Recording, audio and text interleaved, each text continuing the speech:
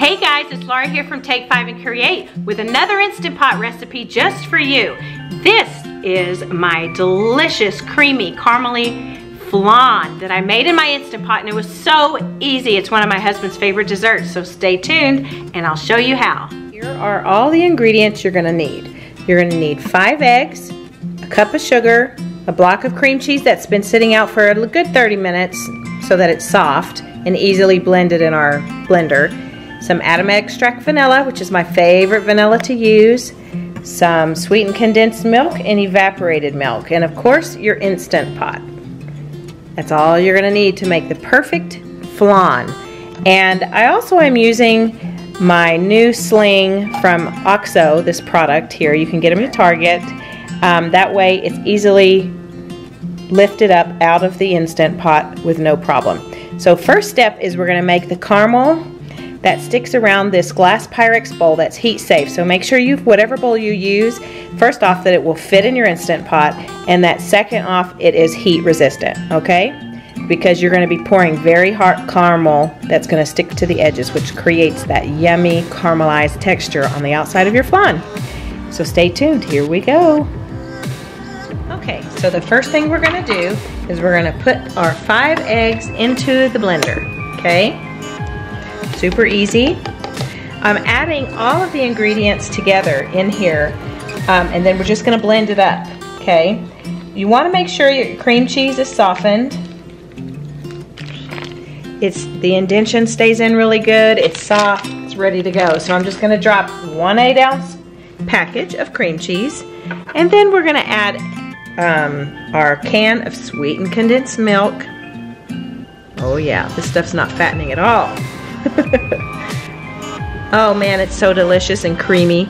And the Instant Pot makes it the best way to make flan.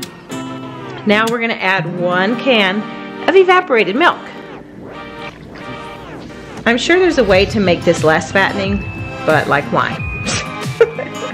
okay, next thing is my favorite vanilla of all time. I order this online in the gallon size because I can't get it in the state of Utah um, like I could in Texas. This is a Texas product in my opinion. It is so good. Order it online. It's an extract, but it smells like fresh vanilla. It does not smell alcoholish at all. So we're gonna add one teaspoon of Adams extract to the mix here. Then we're just gonna put it on. Now I have a Blendtec blender, which I love. Um, but you can use any type of blender that you've got as long as it will pulse and make it smooth. Okay, so we're just going to use the pulse function right here and just make that as smooth as can be.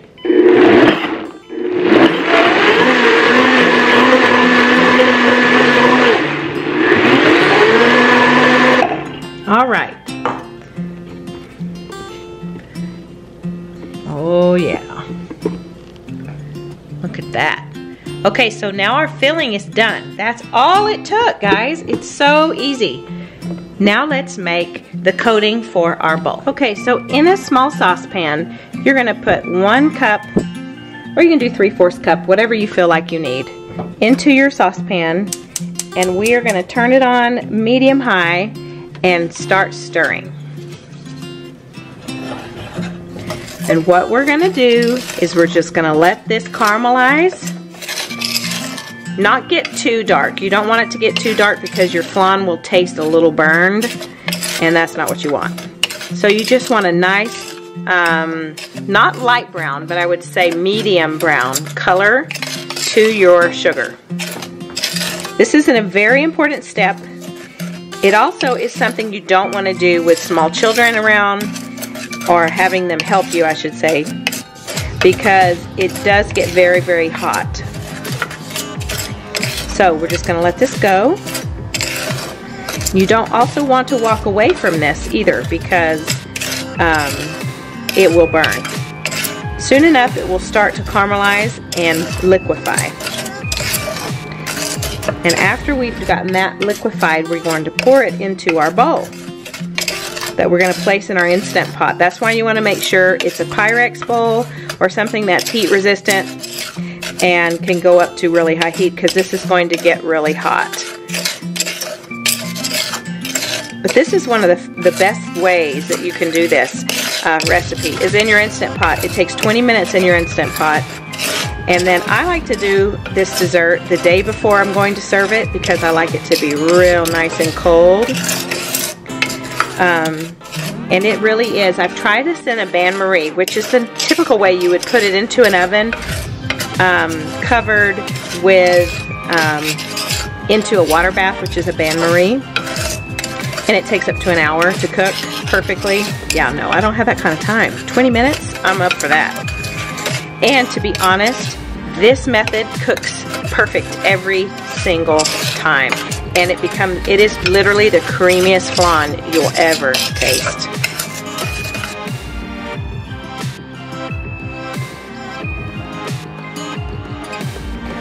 As you can see here, starting to melt. This process took me about six minutes.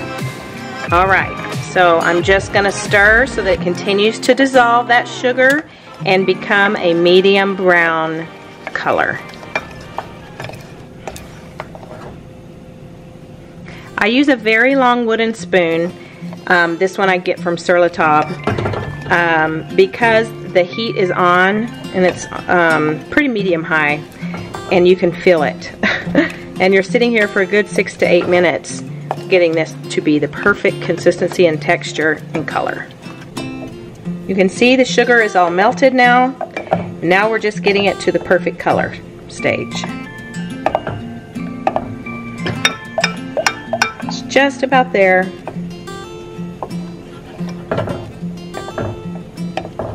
You don't want that to get too brown again because you'll taste it. And it will taste a little bit burned, even though the flan itself is not. And that's about where I want it. So let's turn off the heat and go to the next stage.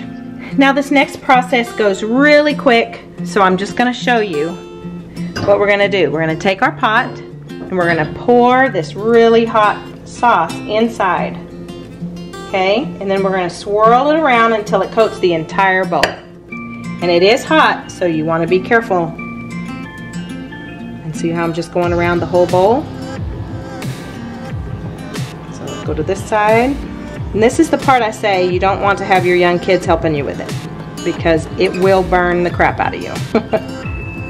the Pyrex bowls make it so easy to handle I don't feel the heat on the outside. It's a little warm, but it's not like super hot like a nonstick pan would be or a um, other type of pan. I just like the glass the best. It also creates the best flan in my opinion.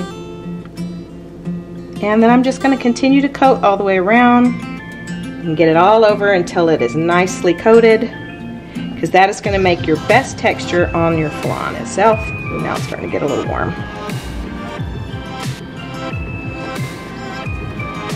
You can use a towel to hold your bowl if you'd like. My kids think I have like hot hands. I'm really good at it. Okay, so we got that.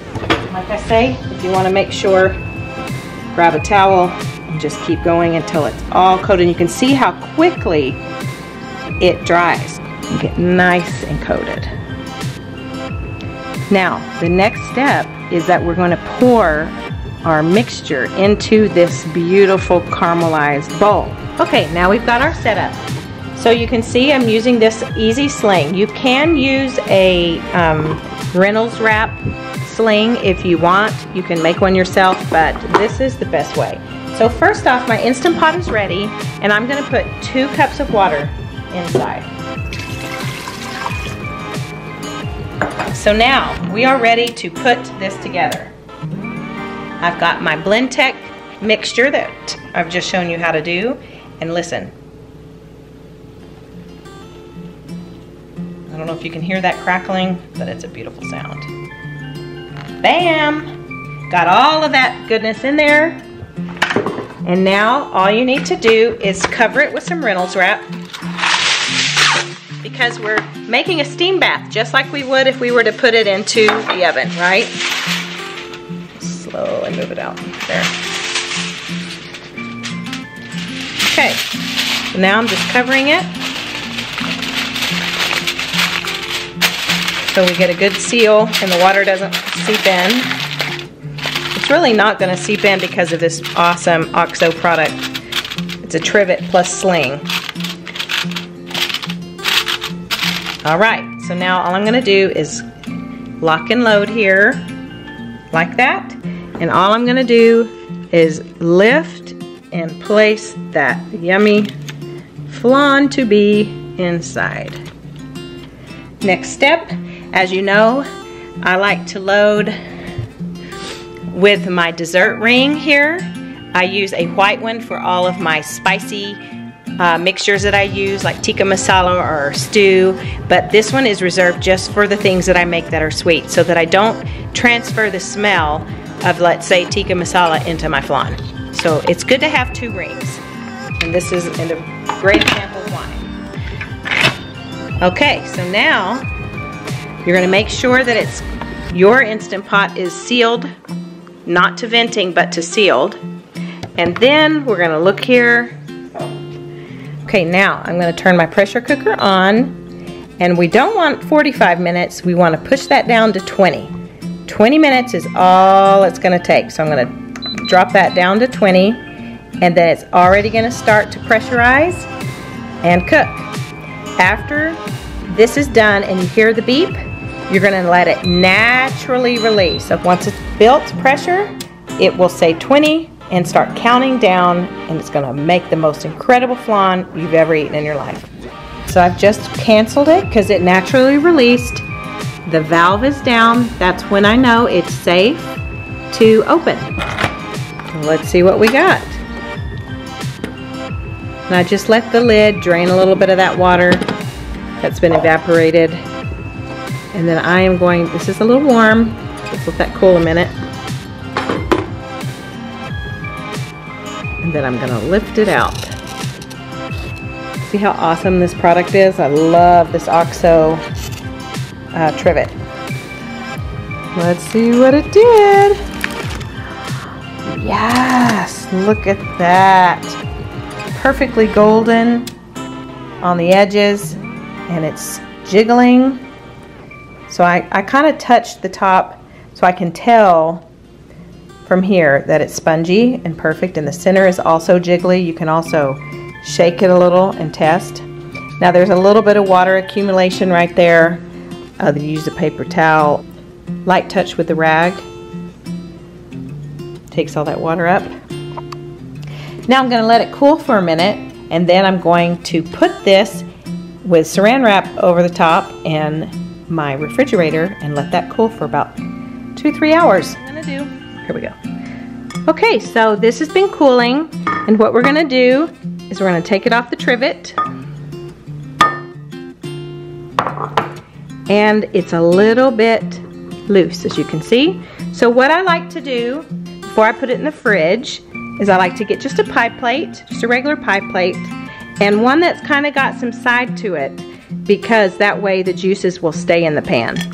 And I'm gonna flip it upside down just like so.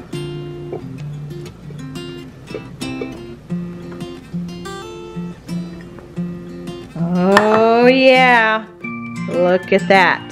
Okay, you ready guys? Here it goes.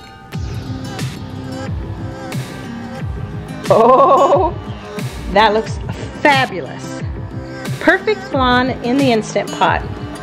Now all we have to do is wait for it to get cold to enjoy.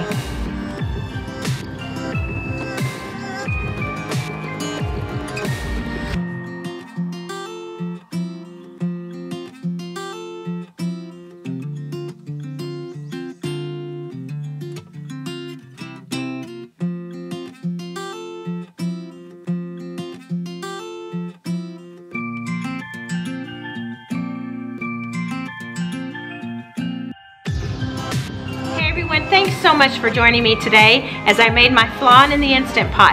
Don't forget, if you don't want to miss another recipe, click that subscribe button and that bell to be notified every time that I post something. Thanks so much for joining and I'll see you next time.